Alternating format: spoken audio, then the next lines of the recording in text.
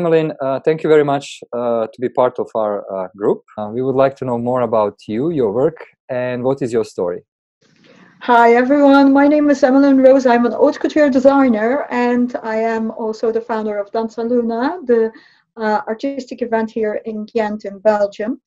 Um, so what is my story? I uh, like to inspire people with my art, with my creations, and I like to uh, inspire people to uh, realize that they are good enough in life. And that is actually where I am here right now. And uh, being able to bring out my message to all of you is, uh, for me, fantastic. This is what I was been looking for. And thank you very much, Ed, for giving me this opportunity. I am forever grateful. So, yeah, here I am.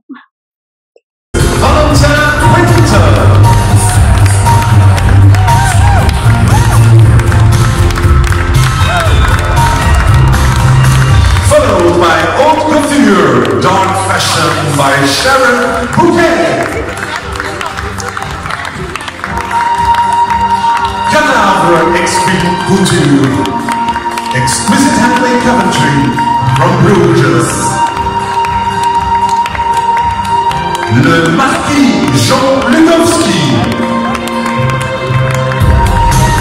And finally, Evelyn Rose.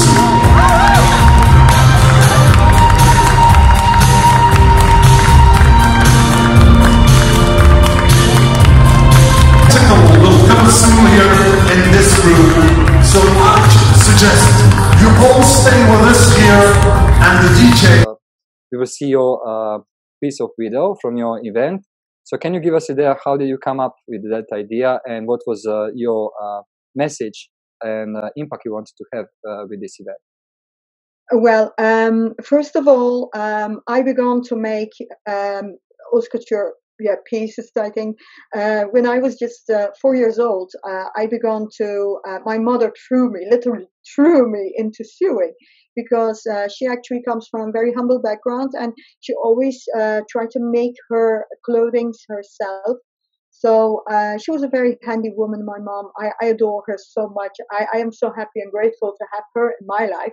So uh, I was a very little kid, and she was actually showing me like, you have to do this for embroidery, for and and so I began to make embroidery uh, when I was at the age of uh, six.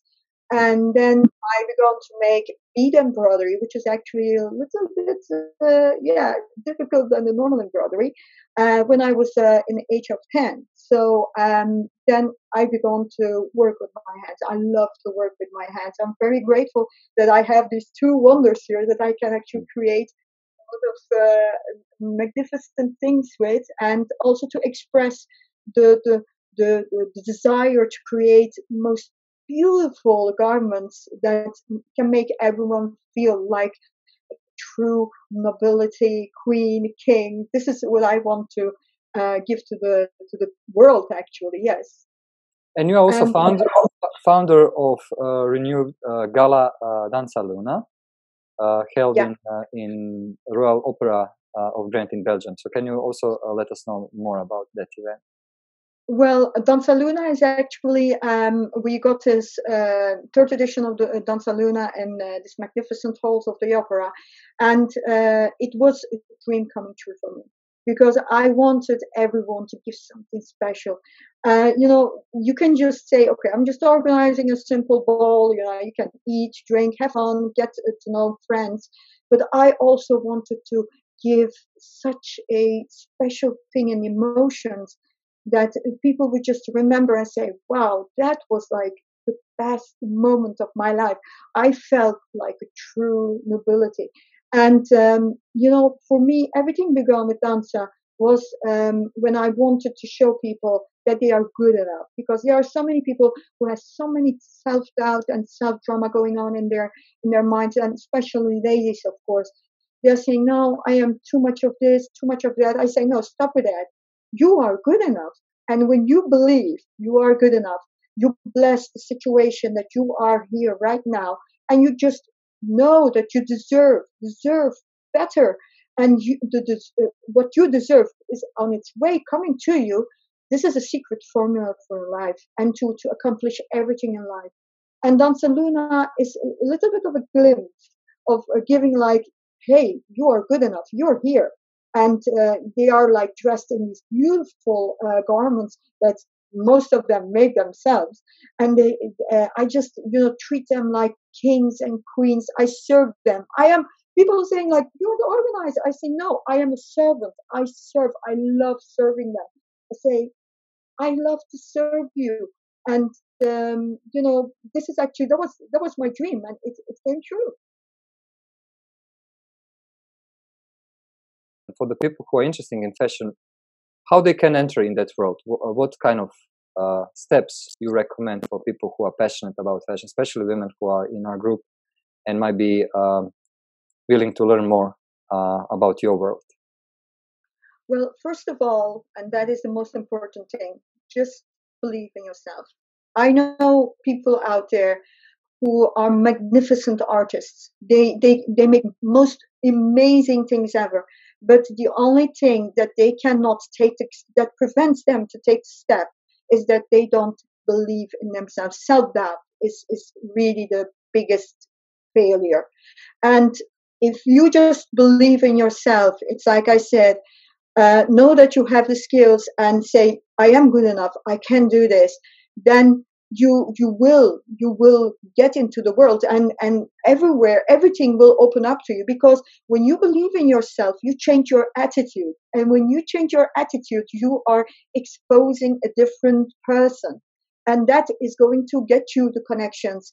Uh, even if you uh, uh for example i began with not, nothing i would just say i was just making uh, small pieces of embroidery uh, and I just left them in my in my room till the day that I was being confronted with something very unpleasant. And uh, I said to myself, no, I am going to show that I am good enough. And there are so many people, they are saying, oh, but I am too short for a, for a model. Uh, I, I am short too. I am just one uh, meters uh, 58. And I went qualified for top model Belgium. So I was like, no, that is not because you're too short or, uh, you know, it doesn't have to do anything about your body type. It is how you believe in yourself and how you express yourself. And that is very important. When you are self doubting, you are like, don't touch me or I am not good. And that is, that is not good. You have to say, okay, I am good enough. I am doing all this and you show your work don't be afraid to be rejected. If one gets one rejection, I mean, there are so many others who will actually say, hmm, actually, this is interesting. Why not? Just make me something and send me something and we will see about it. This is how I began with it. I, I mean, I, I made my, my, my pieces and I sent them. And uh, there was just one person who said to me, okay, I am going to make a picture with it. And uh, they, they published it and then the other person said, Oh, this is very interesting. I would just like to make a picture as well. And this is also what the reason is why I am actually organizing Danza, because mm-hmm. a dancer who are coming there who are interested in the same. And when people are coming to visit Danza, they are people who just come to have a good, a good, uh, a good time. But there are also people who want to have networks, and this is where I offer them.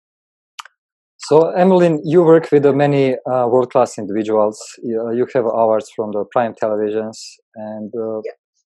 Uh, how you combine uh, creativity and business goals? Is that tough in a fashion industry to work with the artists who are very creative, or that's just uh, how you organize yourself and your time? Well, I am I am someone who doesn't like to take commissions. I am a uh, artist uh, designer, so means that uh, there are some some designers, and I don't have anything against that. You know, uh, they take commissions and they say, okay, I'm going to do it like this and then. But I, when someone comes to me and says, uh, I have a wedding, I would like to have a wedding dress. I say, which team it is, um, which color do you want?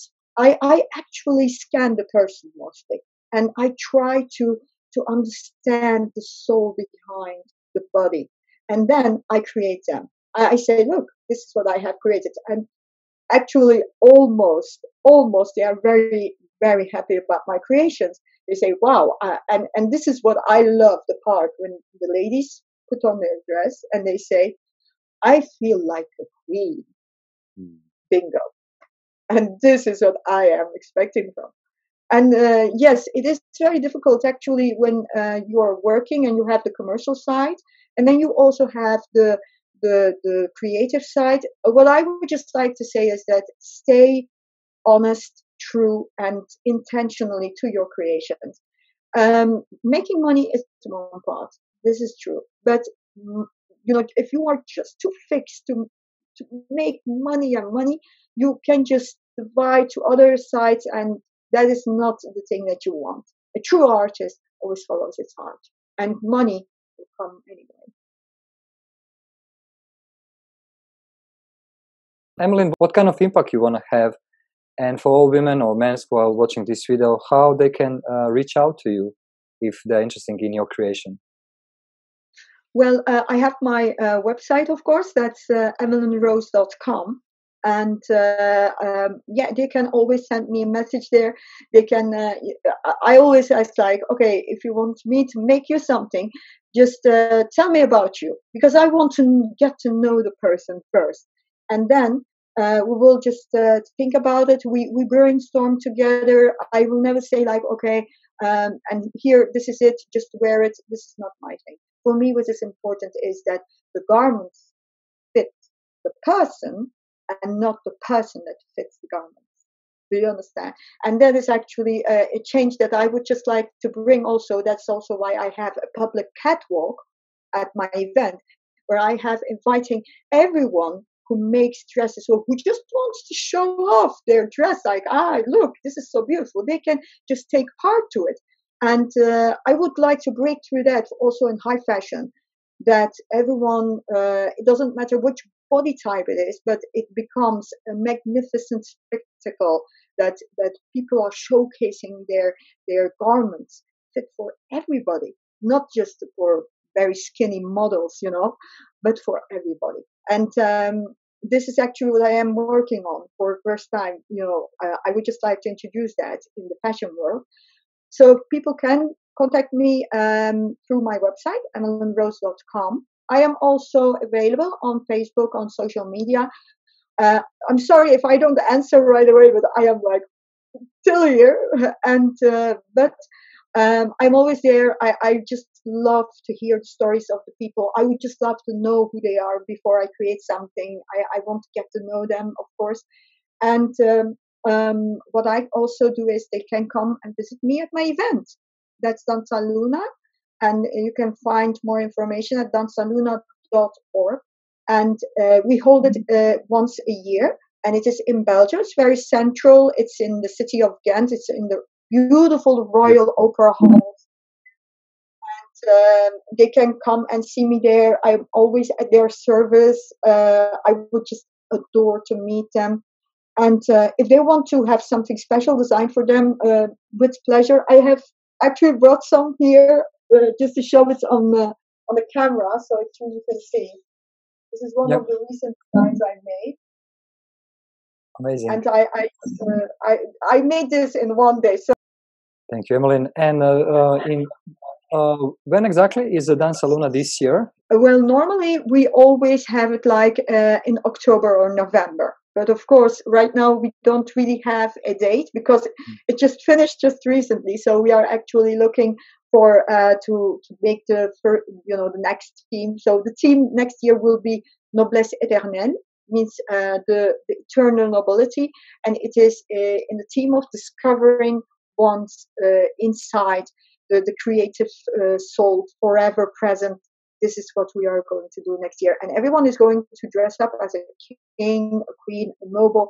It's your choice, you know, um, as long as you have a good time and uh, get to know each other who are uh, in your frequency. Okay, ladies. So for all of you who who want to have an extraordinary experience and feel like a queen, uh, book your in your calendar once when uh, will share with us uh, when is the next Danza Luna in in Belgium. That will be extraordinary experience in October or November this year. You are always welcome. Always, everyone is always welcome. I'm just one click away. Thank you, Emily. Thank you. Thank you so much, Ed. I'm just wishing you the best of the world. Just keep on doing and uh, keep on inspiring people. This is what I just uh, want from you the most.